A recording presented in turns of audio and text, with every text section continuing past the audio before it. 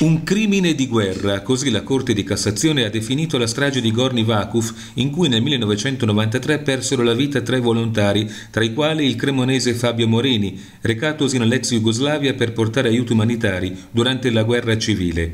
Per questo è stata confermata la sentenza a 20 anni di reclusione per Anefisha Pricic, 52 anni, noto come comandante Paraga, sentenza emessa l'anno scorso dalla Corte d'Assise d'Appello di Brescia.